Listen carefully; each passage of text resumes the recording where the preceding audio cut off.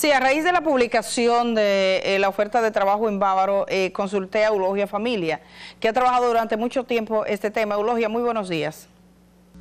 Ay, muy buenos días. Gracias por la información y porque nos proporcionaste ese dato, porque no estábamos informadas del mismo hasta que tú no hiciste saber eso. Eh, algo muy serio porque en Bávaro no es la primera vez que ocurre una denuncia de semejante eh, discriminación contra las trabajadoras domésticas. Ya hace un tiempo hubo una que solicitaba empleo que fuera blanca y que preferiblemente venezolana y con una serie de requisitos que discriminan el trabajo y que violan los principios del mismo código de trabajo, práctica que no solo el código, práctica que inclusive ya en convenios internacionales de las Naciones Unidas, eh, de los de contra la violencia de la mujer y las personas, contra la discriminación, existe en todo el mundo. Eh, entonces, eh, ahora vemos que se repite esto donde lo que refleja que en Bávaro hay una comunidad que parece que está operando con determinados criterios culturales en contra de las trabajadoras domésticas y que la someten a explotación. Eh, la trabajadora doméstica, en este caso, ese señor o señora que está solicitando esa trabajadora, eh, no es, son las que tienen que realizar actividades de cuidados en la casa. Los cuidados para las personas ameritan algo especial, eh, digamos a veces hasta profesionalización para cuidar a niños y niñas y personas envejecientes o enfermas. Eso no es una labor porque el Código de Trabajo especifica que son las que trabajan de manera habitual en el hogar y se dedican a labores propias del hogar como higiene, la limpieza, cocinado, fregado. Y entonces a las trabajadoras domésticas le están atribuyendo un todo según este, esta solicitud de empleo que lo haga todo, pero además poniéndoles condiciones de descanso que chocan contra el mismo Código de Trabajo y el convenio 189 de la OIT ratificado por el país. ¿Cuántas son las horas eh, máximas de trabajo a la semana según ese convenio y según el Código del Trabajo?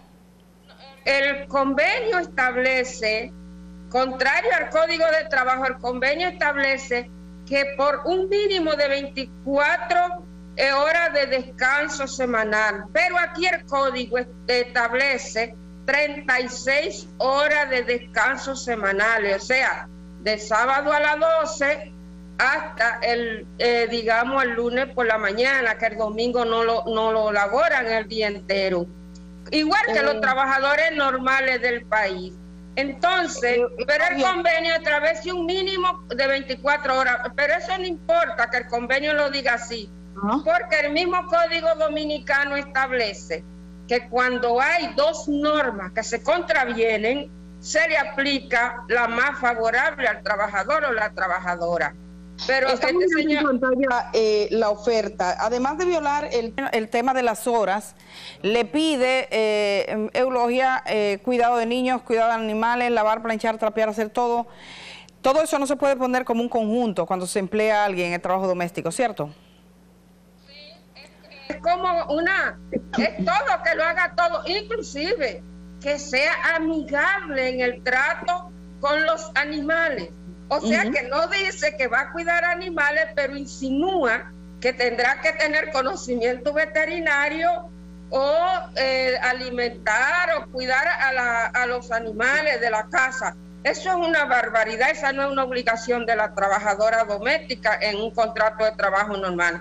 Lo que pasa es que aquí todavía no se ha regulado ni la jornada ni se ha categorizado el trabajo, eh, la labor de la trabajadora doméstica. Y por eso estamos luchando para que el convenio sea aplicado y se ejecute, porque en ese caso hay que categorizarlo y fijar los salarios. Y aunque aquí no se ha definido todavía la jornada de las trabajadoras domésticas, el convenio dice que tiene que tener un trabajo en igualdad con los demás trabajadores y trabajadoras por lo que ya siendo el convenio una ley, se está violentando también el convenio cuando se plantea que ley va a permanecer en la casa ah, y solo salir una vez a la semana. Eso casi se llama trabajo forzoso. Eso, casi cae dentro de lo que es el trabajo forzoso.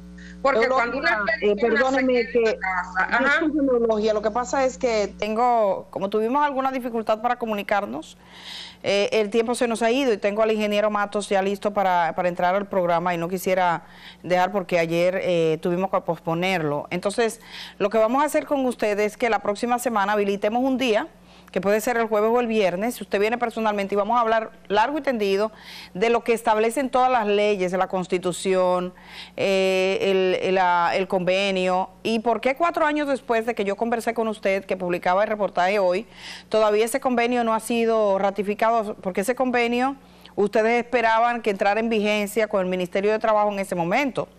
Ha pasado eh, cuatro años, años, tres ministros y todavía eso no ha sido posible. Me gustaría conocer todos esos detalles. ¿Le parece?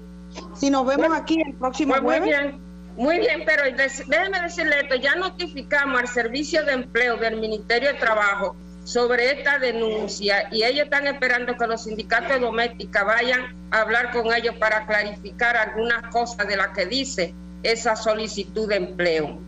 Nada, perfecto. Esta solicitud de empleo va a ser sometida al escrutinio del Ministerio de Trabajo. Lo hará el sindicato de, trabajadoras domésticas del de CENUS, que están... Eh, de las tres centrales de las tres centrales. que son... Seologia. ¿Cuál es central? Seologia.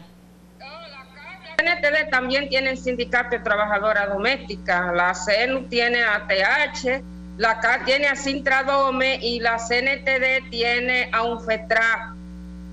Bueno, pues mire, con esas mujeres y con usted conversamos el próximo jueves. Eh, yo les llamo posteriormente y pautamos. ¿Le, parece?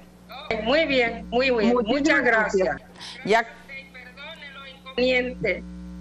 Para nada, hoy es bien. No, tranquila. Muchas gracias a usted por la disponibilidad siempre de escucharme y de aceptar cuando uno le llama y por movilizar la acción, porque pasamos de las redes a la acción, porque en las redes solo es el indicio para que se haga algo. Voy a la pausa. Cuando regresemos, en la cárcel de la Victoria, 89 cámaras, fibra óptica, disponible incluso para los vecinos. Me dicen que para el personal administrativo, aunque es un extremo que las autoridades están investigando. ¿De qué se trata? ¿Cómo funciona una fibra óptica? Tiene que tener necesariamente una conexión con una empresa telefónica. De eso vamos a hablar con un experto. Ha trabajado en instituciones públicas con un nivel de alto mando en materia tecnológica, con formación en el País Vasco y algunos países de América Latina. Eh, el ingeniero Matos estará cuando regrese de esta pausa.